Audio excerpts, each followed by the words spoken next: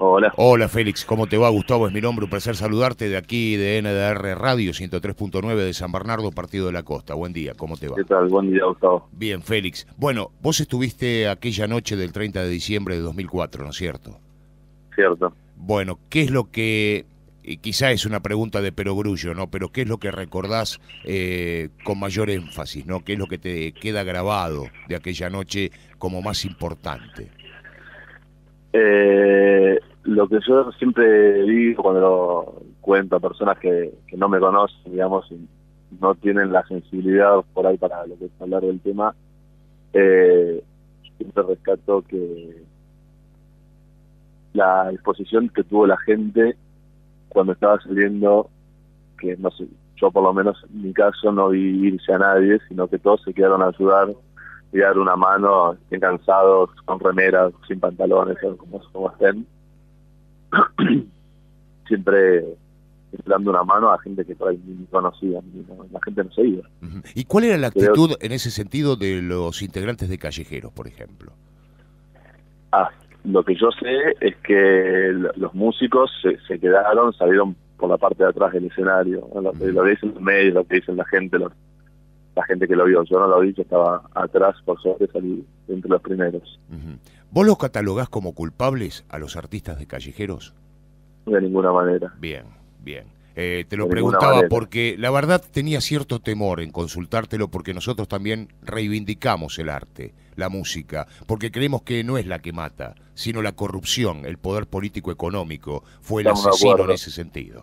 Bueno, Félix, la verdad que me alegro mucho de concordar en este sentido porque me parece primordial para sostener la charla. Eh, Es muy simple, creo que una, una persona no, un músico o un artista, lo que sea, no, no invitaría a su, a su claro, madre, a su, a su familia, a, su- exactamente. a un lugar que piense que puede quedarse peligroso. Es muy claro. por, Además, pasa, bueno, por ahí pasa por la inconsciencia, pero no por eh, algo o premeditado, lo, cada pavada que han dicho. Que, Absolutamente de acuerdo contigo, Félix, porque además eh, también los chicos de Callejeros perdieron familiares afectos esa noche. desde ya, Eh,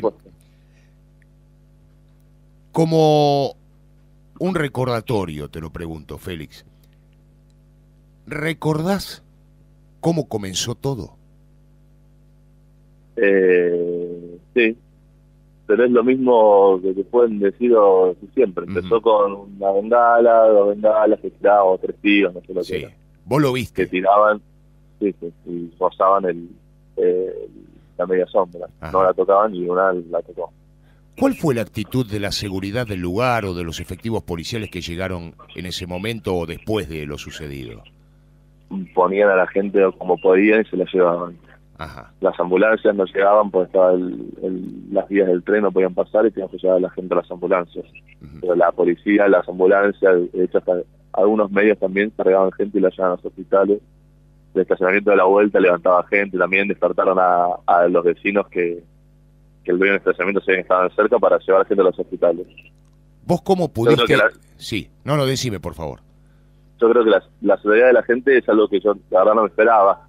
Eh, cuando vine o cada vez que vengo acá todos los años, eh, no ves ni lo que más es gente de clase social alta o Ujú. personas gente humilde, gente pobre, y muchos quizá de la calle, y esos son los mismos que estaban en, en el 2004 y esos son los que no se fueron, y se quedaron a ayudar porque no sé, lo que digo es, no sé si hubiese pasado en otro recital. Félix, ¿cómo lograste vos. Cómo lograste evadir del lugar?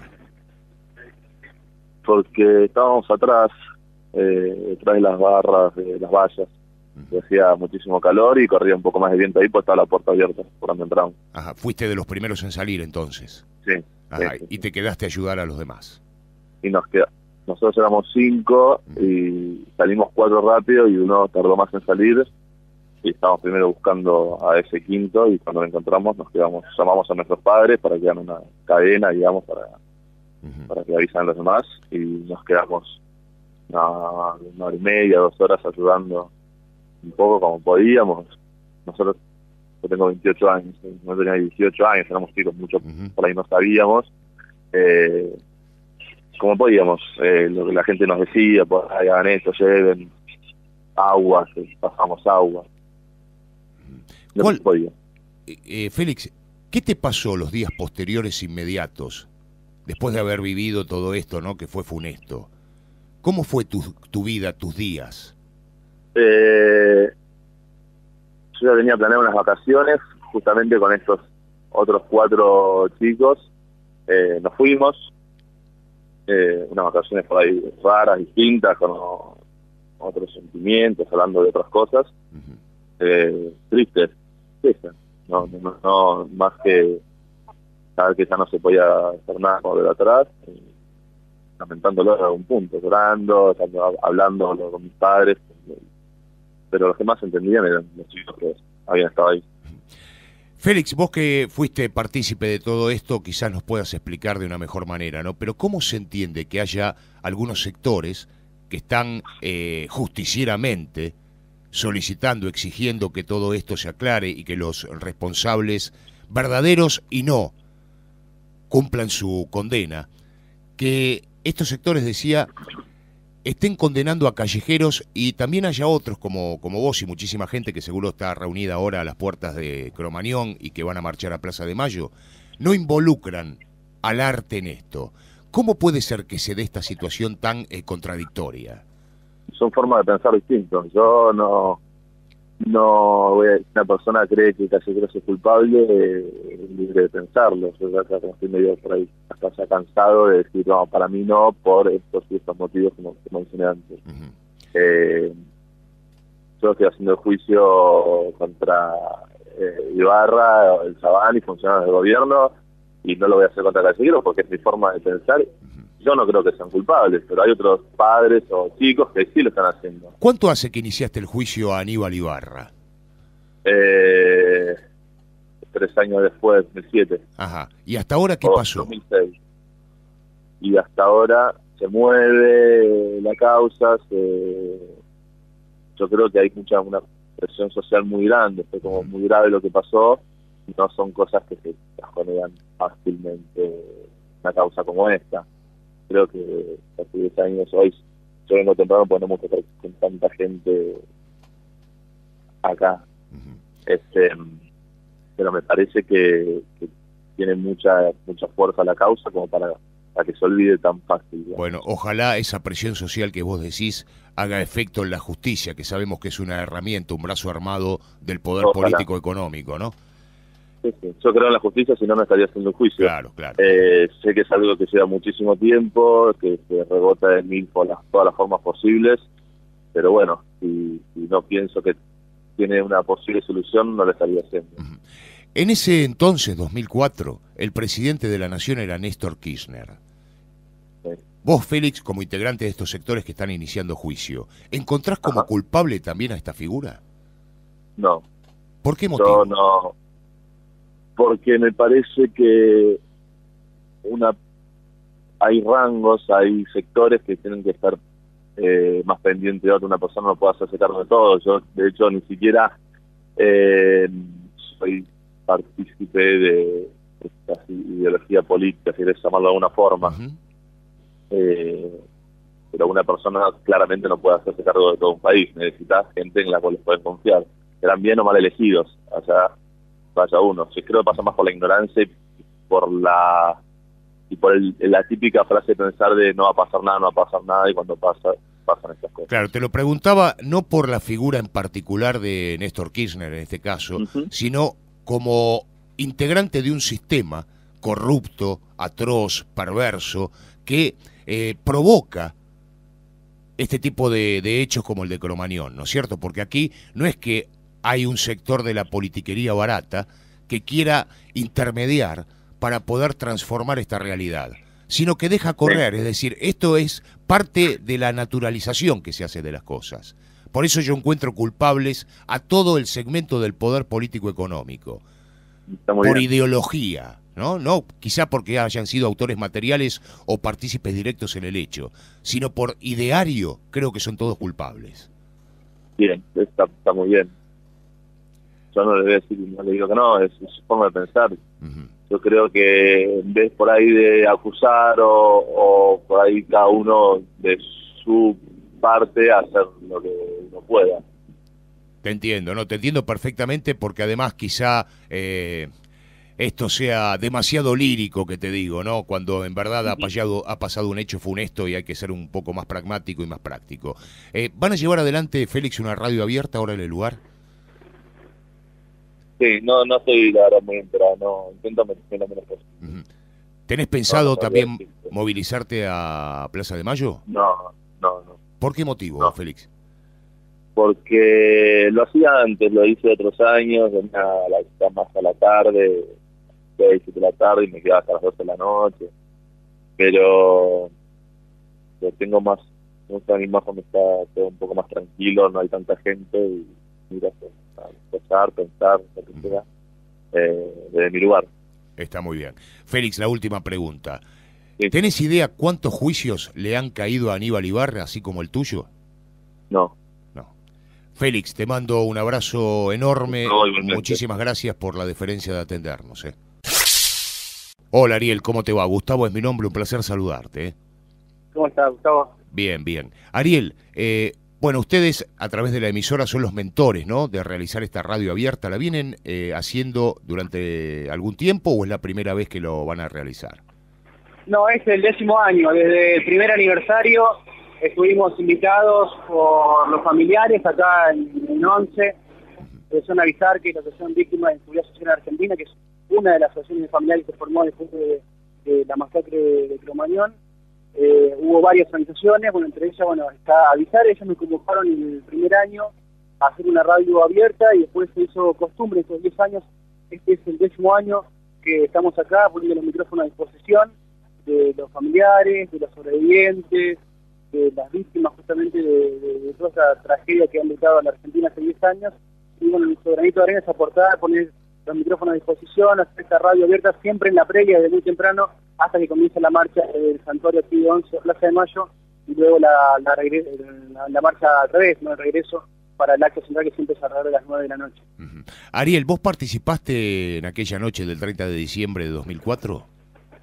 No, yo no estuve, pero lo que sentimos nosotros desde la radio comunitaria es que podríamos haber sido cualquiera de nosotros, teníamos más o menos la misma edad de, la mayoría de los chicos que, que perdieron la vida esta noche, eran muy jovencitos, sentimos que eh, no, no era necesario que nos suceda a nosotros particularmente, sí tenemos conocidos, vecinos de José de Paz, que lamentablemente perdieron la vida en aquello en, aquella noche, tenemos algunos amigos que tenían pensado ir y que al final por una cosa o por otra no fueron, no estuvieron esa, esa noche en Cromañón, pero nada, sentimos la responsabilidad de que nos podía haber sido cualquiera de nosotros, que eso que sucedió eh, aquella noche eh, de alguna manera también nos tocó nos tocó muy cerca como jóvenes comunicadores y bueno sentimos la responsabilidad de hacer algo y este hacer algo fue en principio poner la radio a disposición y después ya te digo se hizo costumbre. Todos los que nos invitaron y para nosotros es un, honor poder estar acá aportando en este reclamo de justicia no Comparto absolutamente tus palabras, Ariel, y déjame agregar, si me permitís, que excede el ámbito o el espectro de que uno podía haber estado o no en ese lugar en la noche del 30 de diciembre de 2004. Yo creo que me quedo con esa palabra que dijiste que es compromiso, una palabra que está absolutamente tergiversada, minimizada y que hace falta revalorizarla. El compromiso para exigir justicia, el compromiso para condenar a los verdaderos culpables, ideológicos, materiales, cómplices. Yo creo, y esto es una opinión muy personal, veremos si la compartís, eh, Sergio, el verdadero culpable aquí es el poder político económico. Yo estoy, abogo, incesantemente, por acabar, por culpabilizar a callejeros, por ejemplo, porque no creo que el arte mate. Lo que sí mata es la corrupción. Lo que, lo que quedó claro es que la asociación entre el poder político y el poder económico, el, jefe de gobierno en aquel momento y el empresario de la noche, Marc Chabani, como dos, nombres, propios de esta circunstancia particular, pero en general el, poder económico cuando se asocia con el poder político y solamente ponen por encima de cualquier valor el valor de lo económico, por encima incluso de las normas de seguridad, sea en un, en un boliche, sea en un recital, en un estadio de fútbol, en una escuela, en un shopping, donde sea, eh, bueno, cuando se recorta justamente y se privilegia el valor económico por encima de cualquier otro valor, pasan cosas como la de Cromañón. Exactamente. Ariel, ¿quiénes están coordinando la radio abierta? Decime los estamos nombres. Con, estamos con Yamila y Gisela, acaba de llegar José Guzmán, que es un papá, él perdió a su hijo Lucas en Cromañón, están llegando, así que estamos iniciando con, con esta radio abierta, cada proyecto que comienza a las 10 de la mañana se demoró todo un poco, pero estamos arrancando ya en, lo que es justamente esta radio hasta la tarde, hasta que comience la marcha. Ajá, ¿y después prosiguen también con la cobertura de la marcha? Sí, sí, vamos a estar eh, poniendo sonido en algún vehículo para ir acompañando con las consignas la marcha desde acá hasta Plaza de Mayo. Bueno, eh, Ariel, te invito a mantener un contacto fluido, porque nosotros también en EDR Radio 103.9 de San Bernardo, Partido de la Costa, somos una emisora comunitaria, popular, alternativa como la de ustedes. Y la verdad que nos interesaría mucho mantener un contacto más fluido. Totalmente, bueno, quedamos a disposición. Es una idea que estén aquí también eh, preocupados, comprometidos con la exigencia de justicia por, por Cromañón a 10 años. Un abrazo para ustedes. Un abrazo grande, Ariel. Muchísimas gracias por la deferencia de atendernos. ¿eh?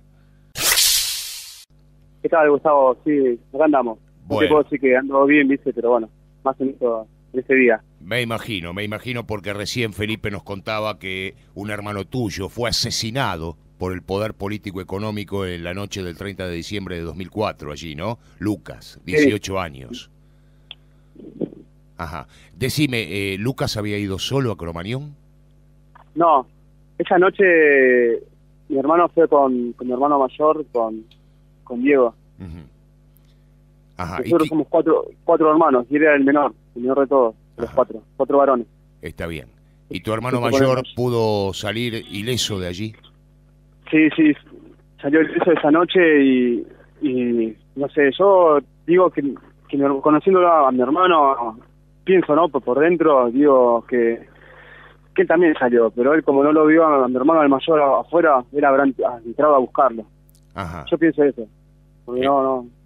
Lucas, vos decís que Lucas entraba a buscar a tu hermano mayor. Sí, eso, eso ah. lo pienso yo, no, no sé, no, como que no puedo creer que haya quedado ahí siendo una persona tan pilla, ¿me Claro, eh, me, te entiendo perfectamente y además te entiendo el dolor, ¿no? Principalmente. Claro. Fabián. Fabián, bueno, ¿estás participando de este evento? ¿Lo haces eh, asiduamente cada año? Sí, antes lo hacía casi todos los 30, los dos primeros años, y luego por unas por cuestiones así acá de, los familiares empezaron a desunir y había muchos conflictos, eh, dejé de participar. ¿Cuántas controversias hay, no? En ese sentido, Fabián. Te lo pregunto porque tuve la posibilidad también de, en, el comienzo de este programa, conversar con Félix, que fue un sobreviviente precisamente de Cromañón, y charlábamos sobre los distintos sectores que, a pesar de tener un mismo objetivo en común, ¿no? Buscar la justicia, la condena a los responsables, hay ciertos sectores que culpabilizan, por ejemplo, al grupo callejeros y hay otros que no. ¿Vos dónde te ubicás? Mirá, lo mío es, neutral. Eh, no digo que callejeros no es culpable ni es responsable. La banda no es responsable.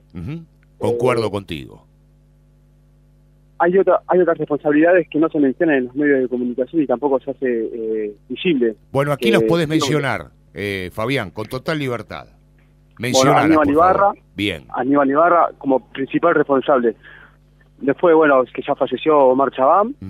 eh, el dueño, el empresario de, de, todos los locales, prácticamente tiene boliches por, por todo lo que es acá Capital Federal. Repetime el apellido, por favor. Davis. Davis. Ajá. Sí. Y otros funcionarios más. Eh, taparon la causa, no le hicieron una institución política a Aníbal Ibarra, pero el chabón y iban a caer otros de arriba. Ya se venía denunciando igualmente de lo que, en las irregularidades que estaba el boliche, a suceder algo, podría haber sucedido algo como lo que pasó. Exacto, exacto. Ahora, eh, ¿vos qué lugar le colocás, por ejemplo, Fabián, al gobierno nacional de ese entonces en esta responsabilidad? Mirá, yo que tengo memoria, creo que el gobierno nacional, eh, este, el, oficialismo, el kirchnerismo, entró en el 2003, ¿puede ser? Sí, sí, claro. En 2004 era eh, Néstor Kirchner el presidente. Ajá. En ese entonces no contamos con la presencia del presidente. No contamos con la presencia del presidente. Ajá. El presidente, el presidente estaba en Calafate. Claro. Estaba pasando su año nuevo, no sé qué estaba. Sí. Mira, pasó lo de Brasil hace hace dos años, la tragedia de Brasil, la presidenta se presentó en el lugar. estuvo medio flaco. Yo creo que porque si se presentaban acá o si ellos hablaban sobre el tema, iban a, iban a manchar, sí, se iban a manchar. Exactamente. Por, la, por la causa. Concuerdo absolutamente contigo, Fabián, porque son parte de un sistema perverso y atroz que eh, precisamente posibilita que sucedan este tipo de hechos. Yo no lo llamo tragedia, o trato de evitarlo por lo menos. Esto es ah, un asesinato por parte del poder político y económico, en general. Yo también concuerdo con vos, ajá. Estamos de acuerdo en eso. Bueno, Fabián, eh, ¿a qué te dedicas? ¿A qué rama del arte? Eh, arte visuales. Ajá.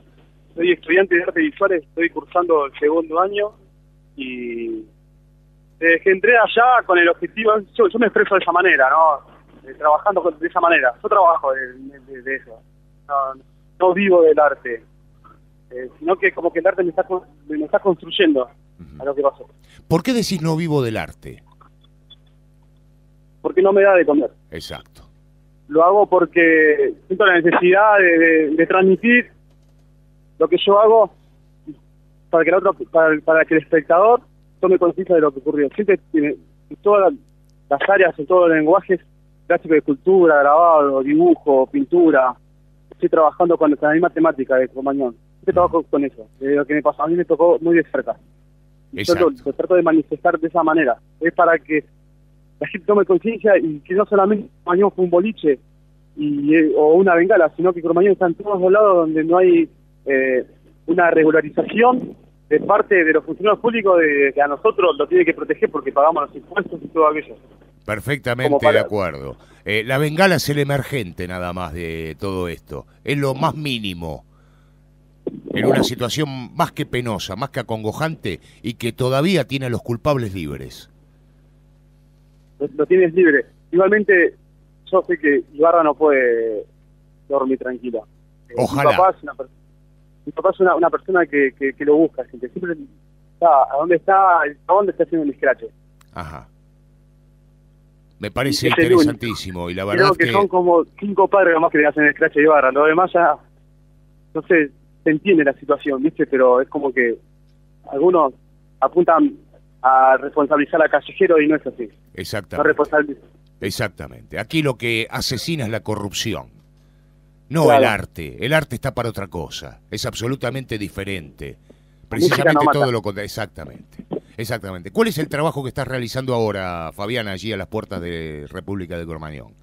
Mira, realicé anoche un ensamble de, todo reciclado. O sea, por cuestiones económicas, ¿viste? No puedo estar comprando maderas, ni telas, nada. Eh, sino todo lo que voy eh, recolectando en la calle me sirve. Entonces lo, lo transformo en algo que sea visible y productivo eh, reciclé zapatillas y hice un ensamble de, de, lo que pasó aquella noche, ¿no? Tengo dos personajes, tres personajes en, el trabajo. Está la víctima que no se que, no se levanta, que ya quedó marcado. Está el, sobreviviente que está marcado pero sigue en lucha. Y después a la, a la justicia, el símbolo de la justicia lo hice con una balanza. En la, la balanza en la cual pesa más están ahí está toda la, corrupción. Y de otro lado está toda la... Eh, en la otra parte de la balanza están todos los familiares en marcha, reclamando su, justicia y pidiendo que Ibarra vaya al banquillo de, los acusados. Es bien claro. Es elegible, no es complejo. Traté, viste, de hacerlo elegible que sea popular. Está muy bien, está muy bueno. La verdad, viste, cuando uno, no sé si vamos a concordar, Fabián, la verdad que me encanta charlar contigo, por eso lo hago extenso, discúlpame. Pero digo... No, no, está bien, gracias. Eh, vos sabés que yo también digo, el verdadero artista popular, ¿no? Y digo, pero si lo popular es una categoría intrínseca al artista, lo demás es Marta Minujín y el chaqueño palavecino, viejo. Claro, claro, claro. ¿El arte es popular o no es? Exactamente, es para la gente. No, es, no es para una cierta clase, ¿no? Te diría así como clase alta o para una para la elite, que vos tenés que apreciarlo en una galería o en un museo. Exactamente. ¿no? Que tiene que ser con lo, con lo cotidiano, con lo que vivimos y es ahí que se refleja, que se puede reflejar y se puede apreciar y también que la gente no, no vaya o por ahí no desconoce ir a un museo o a un arte que se pueda apreciar en la calle. Exacto. Exacto. Y la devolución del que el espectador es que el espectador tome conciencia de lo que pasa y se pregunte por qué. Ya cuando el espectador se pregunta por qué, ya es un desbloqueo en su, cabeza y, empieza a, investigar. Eso es un punto, para mí, creo que es una evolución muy positiva. Tal cual, tal cual, Fabián. Mira, recuerdo con lo que estás diciendo una frase de Oscar Wilde, el escritor eh, irlandés, que decía, el arte imita a la naturaleza, pero después viceversa. Eso es lo que hay que lograr, me parece. Es un poco lo que vos estabas diciendo, quizá con otras palabras, ¿no? Más literarias, porque estamos citando a Wilde, extraordinario. Pero creo que sí, el arte debe reflejar lo que nos sucede a nosotros, a los comunes. Pero a la vez, una vez reflejado, ese arte debe formar parte de nosotros. Nos debe hacer, nos debe construir. Fabián, un abrazo enorme.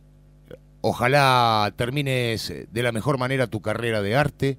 Allí en La Matanza estás estudiando, ¿no? Sí, gracias. Y no, te agradezco a vos por la defender de la deferencia de tu tiempo y por habernos atendido. ¿eh? No, por favor, gracias a ustedes por estar. Y gracias por tu arte, viejo.